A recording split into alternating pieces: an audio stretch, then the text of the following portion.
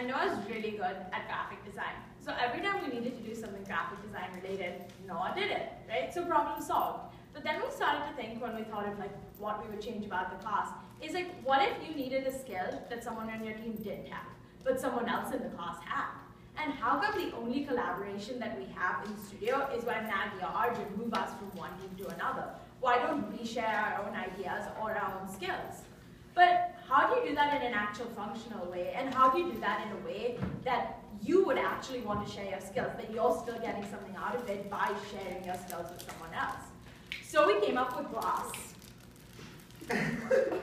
GLASS stands for the Georgetown Living Academy for Shared Studio. And I'm going to let everyone else explain to you how this is going to work. Okay, so the basic principle of our class um, is it's sort of an environment that operates online like Craigslist, but prettier and less sketchy. so it's um, kind of like a giant listserv where everyone who is in this class or one of the other classes that um, is going to be a Studio Blaze class, which after conversations with Megan Arjun, seems like there's two other classes in addition to this class which will all work together and collaborate on projects. And um, members from all three different classes will be in each of these cohorts, which are like larger groups. Um, so the premise is that everyone in one of these three classes is going to have um, access to this site, which um, I guess we would call class, and everyone can, they'll have to take some time at the beginning of the class to figure out what their skills that they think they can contribute to their group and to other groups are. So um, we had bunch of examples of things which graphic design was obviously the first one we thought of because um, it's a lot of graphic design design in this class, but also just like copy editing and proofreading, or people who know how to code, or um, people who know how to edit videos, photography, hand drawing versus um, you know like computer arts. If you're really knowledgeable about science or genetics, stuff like that. So basically anything or finance, um, any sort of specific skill which could somehow be helpful to someone in one of these classes.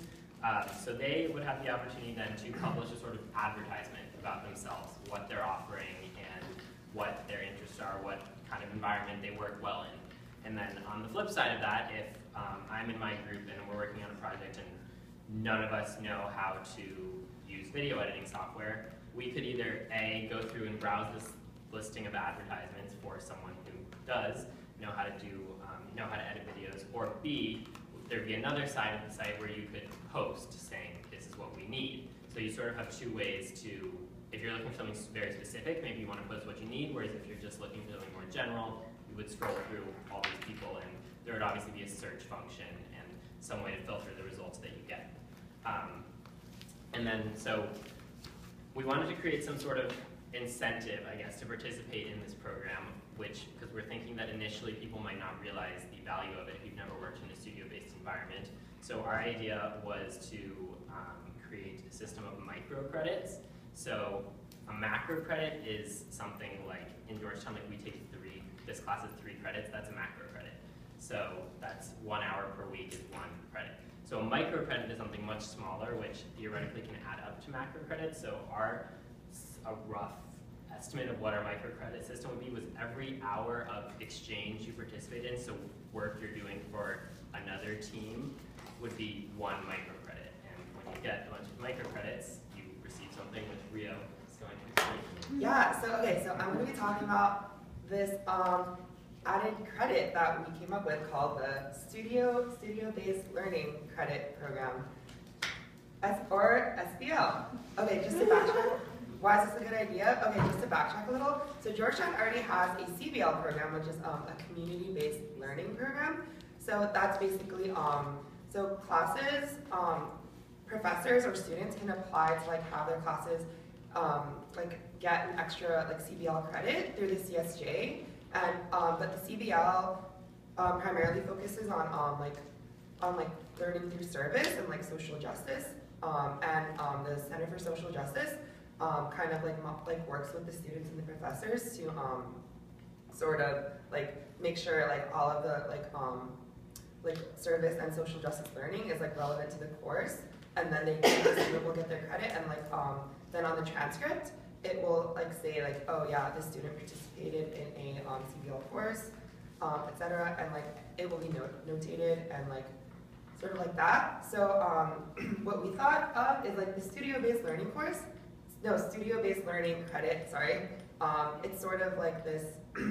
so basically, it's very similar to the CBL, except um, instead of like learning through service and social justice, um, it would mainly focus on like students learning through um, like design thinking and um, like like thinking innovatively and like working on teams and like things that we've been working on like um, in this classroom. And yeah, so also another thing we were thinking is that we could partner, or like the Ethics Institute could partner with um, outside institutions such as uh, um, like the Beeck Center or Arjun's consulting firm, Get Mighty. um, so like kind of like um, basically like establish and like like flesh out all of the um, like design thinking and like innovation related um, like learning and make sure it's like relevant to like the course.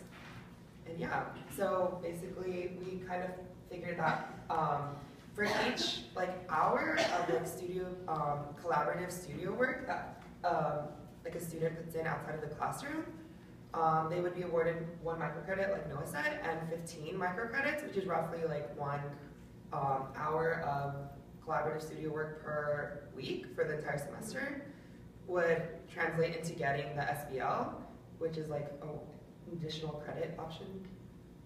Um, so when we talked to Arjun about our idea, one thing that we kind of focused on is that our product isn't just the glass system. Our product is cultivating like an environment of collaboration within the studio.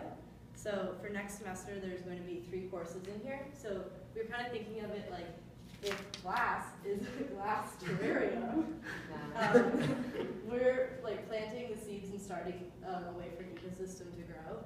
So like, we're putting in by creating this like online system for collaboration, we're creating a method for students to start to meet each other and work with each other. And so like from that, something would grow like a tree. Um, and then by adding the microcrediting system, we're providing the incentive for students to begin to use the system. Um, but from there, it would be able to grow organically, how people um, begin to collaborate in studio and the types of projects they work on and how they develop their individual skill sets. Um, and then eventually, as Georgetown begins to involve more and more studio-based learning classes in their curriculum, the tree would break through the class. um, and it would become something more than just the system. So the system's a way to foster an environment of studio collaboration um, among students who aren't used to that in their typical academic environment. Um, and that's why we think the SBL is important, is to encourage students to become engaged with studio-based learning, um, whether it, at first it's in the three classes next semester, or if it expands to involve other classes that have been pre-approved that you could add the studio component. Um, but GLASS is really just a tool to foster that environment so that students have the ability to communicate with each other um, and share their skills so that eventually the studio becomes its own kind of like working ecosystem where everyone who's in classes that have studio components can work with each other and utilize each other's skills to create better products. So basically, it's like a, our program is kind of like a way to transition from traditional learning to more studio-based learning. That's that. Yeah, thanks. I, I love it. Um, how do you deal with self-delusion? Like, I think I'm Self- really like- good at coding, but Self-delusion. do you have a rating system? Or? Well, we talked about doing, having people like have on their online profiles having reviews or samples of past work. Um, That's something we still want to toy around with and get feedback from because Yeah. we don't want it to develop into an overly competitive environment where it's like this person's the best and like they're the only one who's getting news. Because people should be able to develop their skills as well. So go. Um, well, I should, so, uh, with, uh, sorry, something else just appeared. But, uh, how do you, at least initially, what's the value of an SBL? So like, it doesn't, you don't need SBLs to graduate, at least right now, right? So why would, how is it sort of gamifying it in some way, but other than that, why, what's the incentive? You said that creates an incentive. Um, so the idea of having a fourth credit option is one, like, we already have something like that existing and people do that with the CBL because an A worth three credits is worth less than an A worth four credits. So it ups the value of the course in terms of your GPA and like its standing in general. And we also thought it was an interesting way to look at the work that we were all putting into the studio as like over and above like what I guess all of us came into this class having expectations and the amount of time we spend in the studio that. And for people who are willing to give as much like a lot of time to the studio, it's a good way of rewarding them and saying if you're getting an A or an A minus in this class, it's not going to be worth three credits, it's going to be worth four. And and also, it's like for people who aren't used to the environment, it's like a system they're more familiar with, kind of like, oh, I'm getting something in exchange that I have to show for it, which like, we were just thinking frankly, like, there are a bunch of people who think like that and their GPA is their motivating factor. So in order just to initially make it appeal to more people, it was a good way to bridge the gap.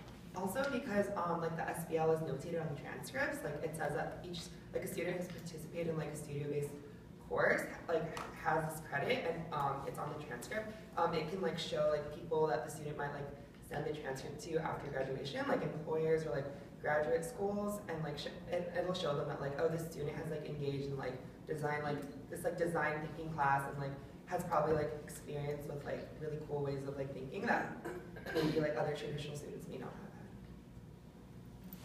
have had.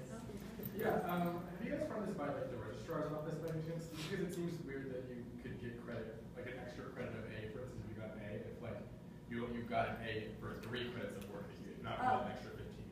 So basically, we, we haven't had a chance yet because we recently came up with this as our system, um, but we're basically going off of the CBL model. So for the CBL, you get the fourth credit for the class when you complete the CBL, and so then that your A for that class counts as more. But when we looked into the specific requirements for what constitutes a CBL, we did, we thought this probably wouldn't fit in. So we wanted to create like a similar system to the CBL, but that was instead of community focused, was studio focused. And in terms of just the more technical aspect of this, so obviously the CBL thing exists, but it's also like, I've heard from a few students that professors have the ability to raise the, like, make a three credit class four credits, this might only have been an SFS class, or someone did like an extra twenty page research paper and therefore the class went from three credits to four credits. So we have to look into the technical side of this, but given the amount of innovation going on in Georgetown and the fact that they're now introducing more and more like one credit classes themselves, instead of creating like a one credit class that this would be part of, like a pass fail thing, it's just a good way of incorporating it within this whole like studio environment. Um, I was just gonna ask, you, like, I registered for a CBL course this semester, and I ended up not taking it. And I like the concept of like the SBL, and I like the concept of everybody like working and other people in the class working. But I don't understand how like the smaller credit or like the like, micro credit really necessarily applies because from what I understood is like CBL courses, I don't know, it's just like when you go into it, it's a four credit class. And that's because the course incorporates so much like community-based learning, so like volunteer work and stuff, and it's just extra work that they consider it four credits. It's not like, oh, some of you are gonna get three credits and like those who- are better are gonna get four. So I'm just wondering if like you could just do that without kind of and it would still almost be approved by the registrar because there is a huge another aspect to our learning here and it does require extra time. Yeah, um, definitely. So when we were researching, um, the CBL model, um, a thing that we came across was that like professors can apply through like to the CSJ to like have their course like up to one credit, like the CBL program, but also like students taking kind of like a relevant like course, say in like um like labor rights or et cetera, like if they feel that like um their studies can like better be complemented like outside of the classroom, like through the like CBL program, they can also like apply um, and then they also they can also receive the credit. So that's kind of like the method we were going on. And we also were just unsure how much, I guess we were hoping for feedback on this, but how willing people would be to put their services forth and spend their time if there wasn't any